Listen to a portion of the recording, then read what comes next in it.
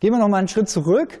Jetzt haben wir schon, sind schon ganz zufrieden. Wir können zwei, drei oder mehr Spalten gleichzeitig visualisieren. Wie visualisiert man denn eine einzelne Spalte? Ja, wie macht man das denn?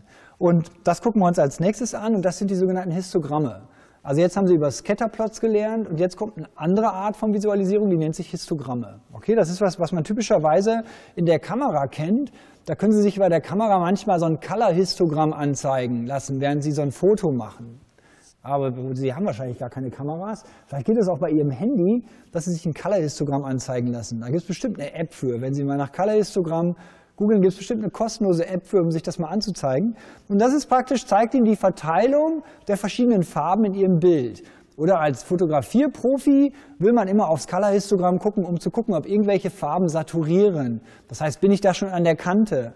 Ja, das wird halt bedeuten, dass bestimmte Farben nicht mehr unterschieden werden können. Wenn ich sozusagen ein Bild völlig überbelichtet, überbelichte, dann werden sozusagen helle Stellen und ganz helle Stellen sozusagen, die bekommen hinter den gleichen Zahlenwert und sehen auf dem Bildschirm beide gleich weiß aus. Und das kann ich halt im Color-Histogramm ansehen. Okay?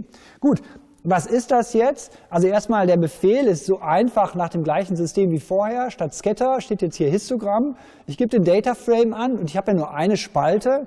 Also gebe ich eine Spalte für die x-Achse an und da steht auch Sepal längs dran.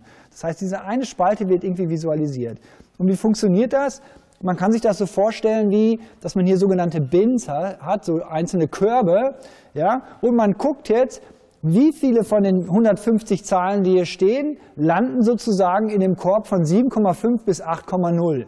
Und wie viele landen in dem Korb von 7,0 bis 7,5 und so weiter und so fort. Und an der y-Achse steht einfach Counts. Ja, das heißt einfach, wie oft war das der Fall. Und da sehen Sie auch schon, wenn ich jetzt hier 4 plus, keine Ahnung, 18 plus 30 plus das, plus das, plus das, plus das, plus das mache, welche Zahl kommt raus? 150 muss da rauskommen. Ja? Das heißt also, wenn ich die ganzen Spalten aufsummiere, dann kommt da die Anzahl der Datenpunkte raus. Ja, das ist ein Histogramm. Und das nennt sich auch Barplot. Ja? Ich weiß nicht, wie das auf Deutsch heißt. Spaltendiagramm vielleicht in Excel? Ich weiß es nicht. Das ist jedenfalls ein, eine Instanz eines Barplots, so ein Histogramm, ja, wo ich halt zähle, wie oft bestimmte Sachen vorkommen. Ähm, Soweit, so gut. Kann man das jetzt hier auch abändern? Die Breite der Bins, ja, ähm, natürlich, das sieht jetzt ja sehr grob aus, aber das ist wieder die Default-Einstellung. Aber natürlich können Sie das abändern. Sie müssen halt den entsprechenden Parameter in der Funktionsdokumentation finden und hier heißt es n-Bins. n-Bins heißt so viel wie Anzahl der Bins. Okay, und jetzt habe ich das mal auf 20 gesetzt und entsprechend sind jetzt hier diese Bins schmaler geworden. Das führt halt dazu, wenn ich jetzt n Bins auf 1000 setzen würde, ja, dann ist in jeder Bin nur ein Datenwert drin. Dann habe ich hier unten nur so ein Rumgekrebse unten ganz mit so kleinen Zahlen. Da kann man da nicht viel sehen. Wenn ich n auf 150 setzen würde, dann würde ich wahrscheinlich mal Glück haben, dass manche Zahlenwerte auch zweimal vorkommen. Man musste also bei der Anzahl der Bins irgendwie einen guten Kompromiss finden zwischen, sieht irgendwie ein bisschen grob aus und irgendwie ich kann was erkennen. Ja? Insbesondere erkenne ich jetzt hier noch so ein, so ein Loch und das ist eigentlich genau dieses Loch zwischen der, den Iris setosa und den anderen beiden Sorten. Ja, da gibt es halt mit 5, irgendwas, gibt es halt nicht so viele, die diese Variable mit 5, irgendwas haben. Die kann ich jetzt halt hier sehen. Wenn das meine N-Bins-Einstellung ist, dann kann ich es halt nicht sehen. Ja? Das heißt, man möchte da so viele Details wie möglich sehen, aber wenn ich nicht genug Daten habe, dann kann ich auch nicht so viele Details dann da erkennen. Dann kann die Kurve auch nicht so genau werden. Okay? Gut, prima. Ähm, ja, diese Linien, die ich hier reingemacht habe, die habe ich von Hand reingemacht. Und nur um Ihnen zu erklären, was Bins sind. Typischerweise werden die nicht angezeigt, aber hier gibt es tausend und eine Einstellung wieder, vielleicht um noch einen kleinen White Space zwischen den Spalten zu machen oder die Farbe einzustellen oder, oder, oder. Wir machen einfach das, was wir immer jetzt schon gemacht haben. Wir sagen jetzt nochmal Color gleich Class und Bing bekommen wir jetzt hier so einen Colored Scatter Plot, ja, wo wir jeweils die jetzt hintereinander geplottet haben. Aber da sehen wir die Iris setosa, die liegt ganz links und die anderen, die haben auch eher größere Zahlenwerte. Das heißt, da können wir also die Sachen gleichzeitig damit reinfassen in diesen Histogrammplot.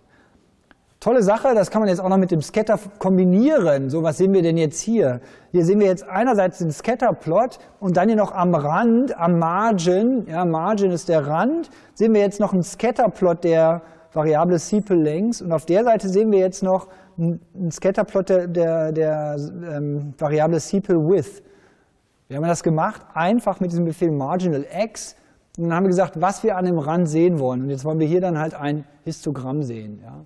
Und da gibt es auch andere Sachen, die Sie sich anzeigen lassen können. Sie können sich hier am Rand einen Boxplot anzeigen lassen oder so Violin-Plots oder tausend und eine Möglichkeit gibt es da. Ja. Das, was halt gerade gut passt. Das ist halt interessant und gibt Ihnen so verschiedene Perspektiven auf ihre Daten. Man kann das hier oben auch so aus, äh, auffassen, als würden Sie von dem Plot so schräg da oben drüber gucken und Ihnen ist jetzt auch mal äh, egal, was jetzt an dieser Achse für Zahlenwerte rauskommen. Sie wollen da nur so eine Projektion von betrachten. Ja, das ist also nochmal eine weitere Art, das zu visualisieren. Gut.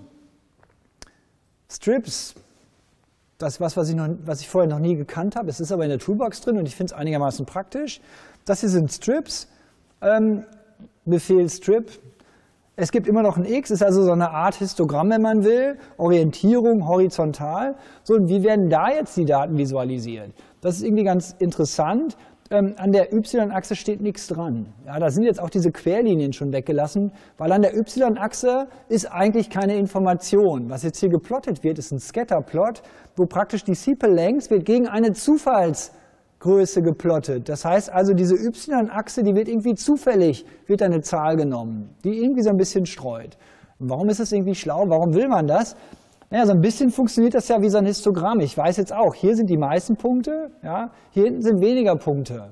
Ja, und das kann ich einfach so visuell sehen, weil ich halt hier die Punkte dichter liegen habe als hier außen. Das heißt also mit diesem Strips-Plot, wenn ich das nicht machen würde, sondern ich würde einfach nur die Punkte hier so anordnen, dann würde er ja an dieser Stelle zehn Punkte an die gleiche Stelle plotten, die alle 5,7 hatten oder so. Ja, und dann kann ich aber nicht sehen, wie viele Datenpunkte das sind. Indem ich dem jetzt aber noch ein zufälliges y dazu packe, kann ich erkennen, ah, da sind ganz viele mit diesem Wert. Und hier gibt es nur ganz wenige.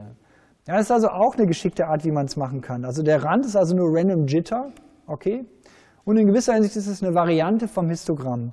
Kann man auch wieder mit den Farben machen, dann wird das Ganze noch so zerlegt in diese einzelnen Klassen. Ja, und dann kriegt man so ein Gefühl, ja, hier ist schon ein Überlapp so.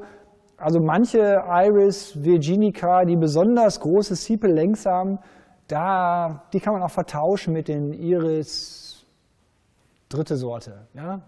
Also das, das ist so, was man daran dann sehen kann. Auch eine schöne Art und ist auch relativ einfach zu machen. Da wird jetzt also zusätzlich zu dem Random Jitter, der da drauf addiert wird, noch eine 1 aufaddiert für die eine Klasse und eine 1 abgezogen für die andere Klasse. Und dadurch verteilt sich das dann automatisch anhand der Klasse.